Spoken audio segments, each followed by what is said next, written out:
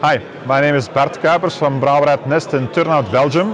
I'm the president of the brewery who won the Christmas Beer Festival in 2018. Um, our brewery started in my garage actually in uh, the year 2004.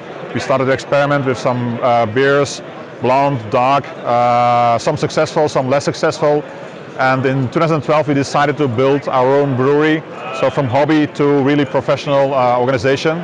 Um, started brewing in 2015 in our new location in Turnhout with a capacity of roughly 8,000 hectoliters and currently specializing actually in uh, barrel aged beer, whiskey barrel, rum barrel aged, but not with dark beers, but with strong blonde beers. And one of these dark, these, sorry, one of these blonde beers aged on rum barrels we call Schuppenboer Winter, and that's the beer that won uh, the first uh, last year's edition of the Christmas Beer Festival.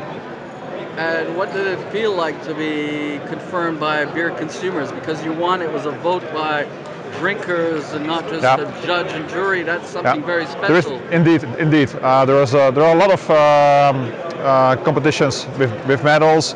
Um, some competitions it's even harder not to win a medal than to win a medal. Uh, but this this festival, this um, this medal is, is, is, different.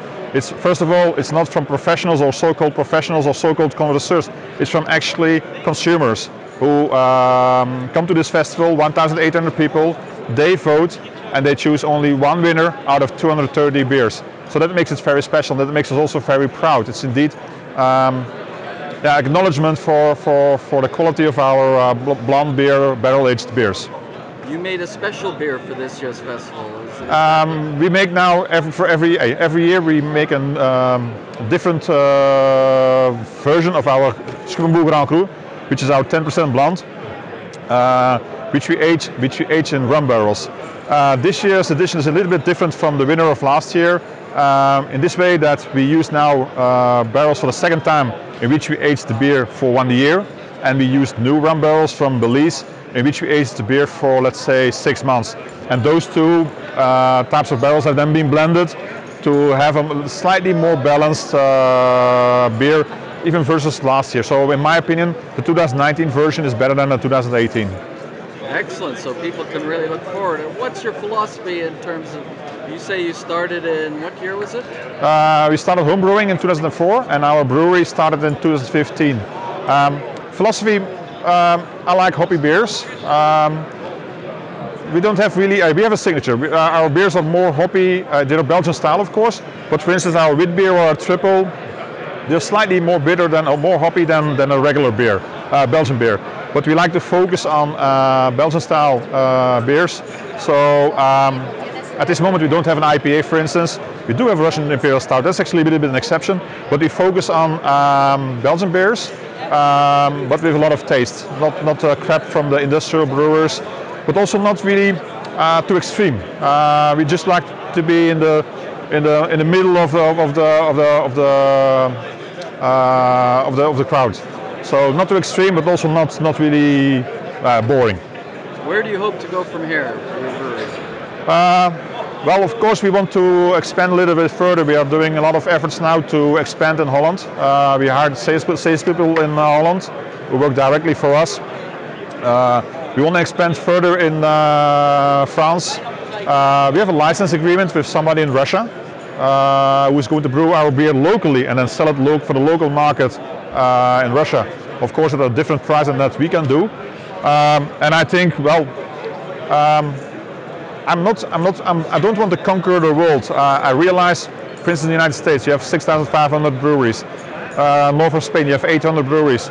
Italy, you have 800 breweries only in the north. So um, we are focusing on our home market. Export is nice, it's interesting, uh, it's extra, but it's definitely not our focus. We uh, focus more on Belgium, Holland, France, which we consider to be our um, home markets. Okay, so our uh, brewery is based in Turnhout, and Turnhout is also known for not only for our beers, but also for something else. Actually, Turnhout is the world capital of the playing card industry. We have a 300 year old tradition of producing playing cards in my town. And when in 2006, 2007, when we um, launched our first beer, we were of course thinking, okay, we have to give the beer a name. So we thought, okay, if it's uh, from our town, let's call the beers after playing cards. So the first beer that we launched was the Jack of Spades, like now the Jack of Spades Winter. Um, we have a Queen of Diamonds, we have a King of Hearts, uh, Ten of Clubs. And it's not because we are we enjoy playing cards. Uh, we, not, we enjoy playing cards. We enjoy playing poker. It's just the, to show that uh, it's to, to to make a link between our beer and the region where we come from. So the capital of the playing card industry. And actually, that's also one of the reasons why we are so successful, especially in um, abroad in Asia Pacific. Um, I have I once met for the first time when I met my uh, importer in China. He came to me and said, "Bart, I want to import your beers into China." I said, "Okay, yeah, good. Which beer do you want to taste?" He said, "I don't care how these beer taste. I just love these labels of playing cards. And Chinese people, they are gamblers. They like to play poker, and your beers are ideal when you have a poker game at somebody's home to take them with you and to give them as a present to the host." He said, "I want to have your beers in China." And today still China is our fourth most important uh, export country. Um, and also Japan. Japan there are gamblers too. Strangely enough, not the United States. So in Las Vegas, don't uh, bother, you're not going to find our beers. So how much do you export to China? I mean, is it uh, it's a, it's a, it's a few uh, containers a year. Uh, so export is for us 50-50, so 50% Belgium, 50% export. Um, of course, Holland is for us the most important export country, followed by Italy, and then I think uh, China, yeah, two, three containers a year, which is not bad for a small brewery like ours.